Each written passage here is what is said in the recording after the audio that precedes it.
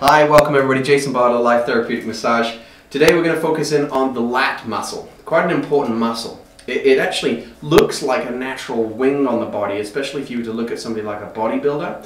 They would have a quite a defined region on this aspect of their rib cage coming down into their lower back.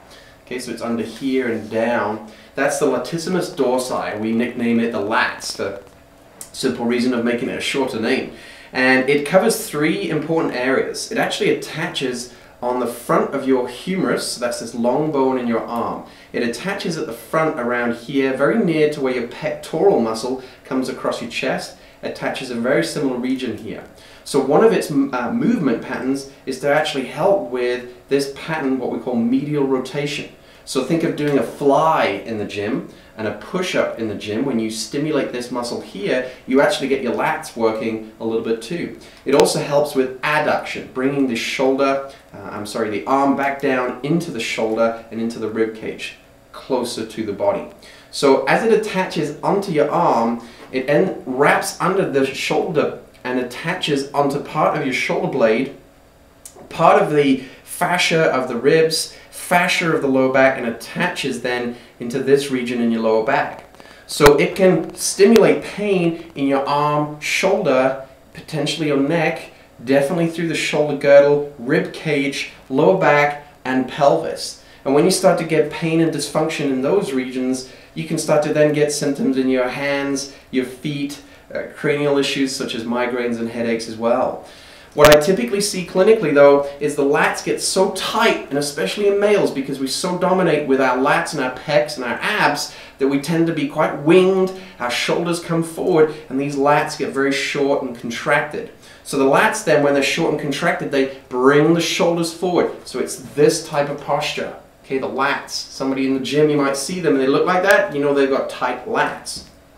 The other aspect as well, coming to the pelvis that we looked at last video, is that it rocks the pelvis forward. It actually pulls the pelvis up on the back side and tips it forward. So it does this motion.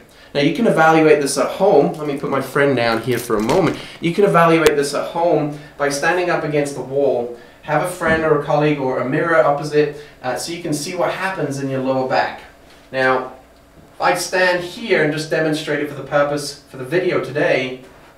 I'm going to raise my arms. So if you do this against the wall, you raise your arms both at the same time.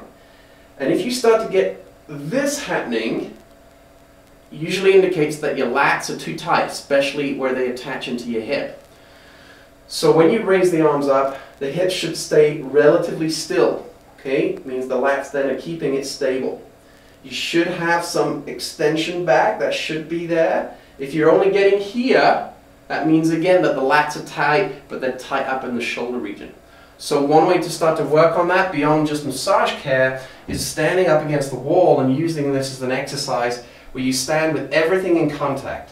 And from there you raise the arms up overhead, then you try and turn the palms and flatten them up against the wall without bending your elbows. Your elbows are going to want to do that, your back's going to want to do get that, and your hands are going to try and do everything they can to cheat on this one. So try and flatten your palms and try and also keep uh, a neutral position in your lower back. So a neutral position would look like at rest.